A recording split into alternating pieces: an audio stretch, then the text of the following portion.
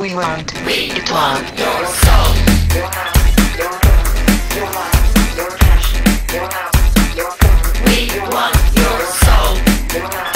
This Memorial Day, while Americans were were being Americans, horking down slabs of meat, stuffing their mouths with wieners, and sipping on golden showers of beer while blasting that good old rock and roll or country from their big pick 'em up trucks, and filled with the petty nationalism that comes from being part of the brainwashed masses.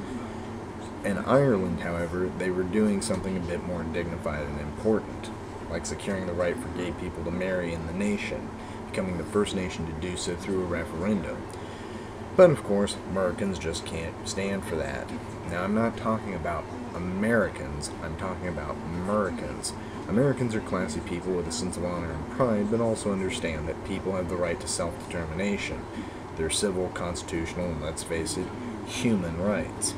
Americans are, are fascist, gun toting, tobacco shooting, Bible thumping, God fearing, fundamentalist assholes who think they have a divine right to shit all over everyone.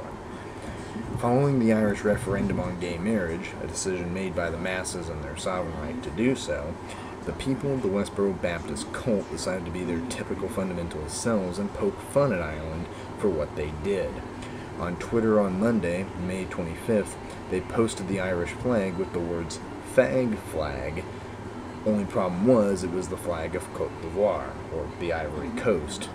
Shortly after being called on this by Claire Louise Cullen, a con- content, multimedia, and social media editor at the Irish Independent newspaper, the fascist church acknowledges acknowledged their mistake, but not without firing back in their usual, well, trollish ways, stating, Now that you mention it, God does hate the Ivory Coast. The hatred of Ireland does not just stem from the recent referendum. The fundamentalist organization, founded and led by Führer Fred Phelps Sr. up until his death on March 19, 2014, had also openly mocked the Irish in dis- uh, display of prejudice and childishness in 2013, where they river danced while saying God hates Ireland. They now claim that this was a prediction of the result of the referendum, which is asinine. There is no way in hell they could have known about the referendum, as basically the referendum was barely an inkling at that point. The referendum was only hinted at in May of 2013 and was not even proposed officially until January of 2015 and put on the ballot in March of this year. Of course, Westboro has been hot in the open mouth insert foot department anyway, as they got their asses rammed by J.K. Rowling this past week. The, the Twitter war began this week after the Potter author was tweeting her jubilation after the Irish referendum, and fans were celebrating right along with her. When Rowling posted a Keanu Reeves meme stating, What if Dumbledore and Gandalf were gay together? and stated that they would get married in Ireland. Westboro responded three days later, showing how slow they are, by tweeting a pic of bigotry with their typical Leviticus 18:22 excuse and stating if it happens, Westboro Baptist Church will picket with the hashtag not banned. The reason for this is Westboro is banned in the United Kingdom as a terrorist organization, and rightfully so, for their abomination of hate-filled speeches. J.K. Rowling responded back saying, Alas, the sheer awesomeness of such a union is in such a place would blow your tiny bigoted minds out of thick out of your thick sloping skulls. By the way, it is also important to note that in Ireland they are not banned as opposed to they are being banned as they are banned in the UK. Maybe Ireland should get on that. Some fans criticized her for standing up to the group, stating that she was bringing more attention to the group. Rowling responded by stating that she does not care about the Westboro Baptist Church and that it's important that scared gay kids who aren't out yet see hate speech challenged. In this case, I rightfully agree with Miss Rowling. They may be a small, insignificant group, but they also have views that are dangerous and are sadly shared with a lot of the Christian right community who wish to see LGBT plus equality eroded and its activism squashed. It is important for, to, right, to fight against this fascism by fighting back against it, exposing the bigotry and engaging them in direct action and confrontation in hopes that one day they, uh, they may one day be extinguished like the flame of a candle, so that the oppressed may be allowed to be free from fear, free from violence, and free from prejudice and discrimination. That is equality. That is freedom. It is also interesting to note that in the following year that Fred Phelps has been dead, that the Westboro Baptist Church has gotten more fascist and tightened its stranglehold on its members, especially females. Shirley Phelps Roper, the daughter of Fred Phelps Sr., who has long been the loudmouth of the group, has had her role drastically reduced for some reason or another. It is unknown as to the reasons why this is, but what is known is that the leadership no longer seems to be, at least by practice, in the hands of one person, uh, but in the hands of an all male board of elders, which sounds a lot like clerical Islam almost to me.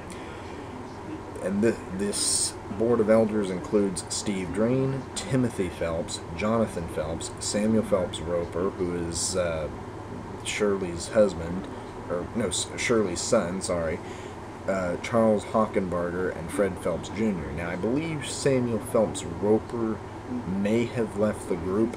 That I have not yet been able to substantiate. So don't hold me to that. However, it is out of this board of elders, it does seem that Steve Drain might be answering church calls, a job position that used to seem to be, well, primarily Shirley's. So it also might be a sense that Steve Drain himself, I don't know if Timothy Phelps is or what the case is, but it seems almost to me like Steve Drain himself is trying to stranglehold and solidify his power almost like David Koresh in a sense. Um, as it's Shirley's role seems to have really taken a back seat, or as the Topeka Capital Journal put it, fallen from grace and wasn't as visible in the church. So it is not known if she's been excommunicated, if her role's just been reduced because of the patriarchal issue going on here.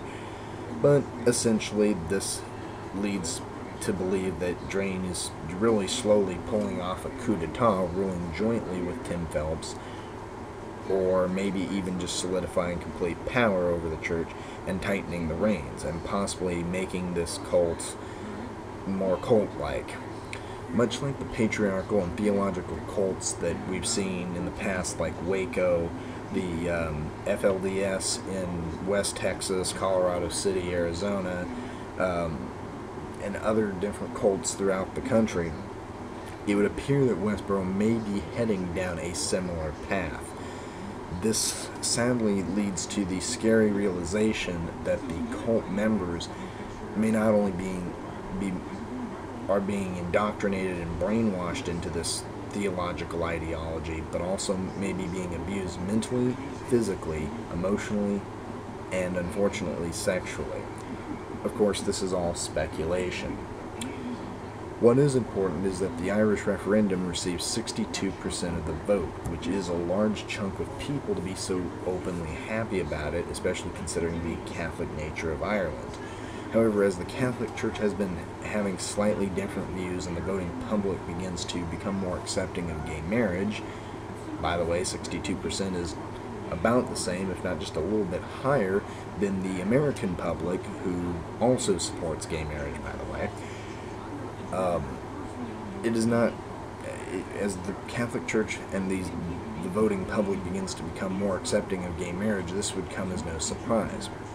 It also should come as no surprise that the Westboro that Westboro is being so openly spiteful, being as they well hate gays, hate Catholics, and hate Irish people. So it should be no surprise to see that Westboro acting as representatives of fascism to open their mouths on affairs that they have no business dealing with. Were this a government organization, which blessed be it isn't, this would be would be considering an interference into the affairs of the Irish state and a violation of their basic rights of sovereignty. In other words, Westboro, shut the fuck up. I'm NorCal Nick, leader of the revolutionist movement, and this has been NorCal Corner. Peace. Watch these pituitary retards bang their fucking skulls together and congratulate you on living in the land of freedom. Here you go, America. You are free to do as we tell you. You are free to